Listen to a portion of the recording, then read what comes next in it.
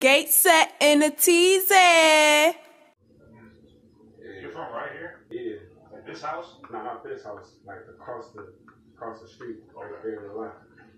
Oh, that's what's up. Same back girl. He from the fall. I banged the pole. He was 400 on on on team. We both banged the pole. Like you feel me? So like everything he went through that didn't fall through, he go he be giving me And games saying BJ over here for at least a decade. at least a decade. So you're seeing him blowing up too. So This you're, nigga come in there with a with a fucking Mexican West Coast beat. I'm like, man, you crazy. You ain't about to do this.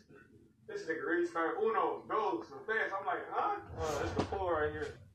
Um, great two days. Great two days. Um, man, I don't know where to start.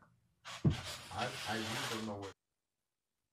And number one was definitely AEW. I I I um, challenge myself. I love the talent there, uh, and being there for the past couple of days just made me.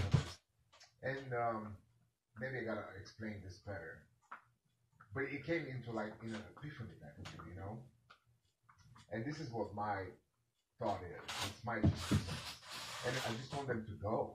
I just ah. want our play our because you know business back in the day was completely different than now. But business evolves. And professional wrestling evolves, and these people were just stuck in the '60s. Business. Professional wrestling styles in martial arts, right? Right. So, professional wrestling is not much different than that, and the the of professional wrestling. So, in our company, AEW, Gate set in a teasy.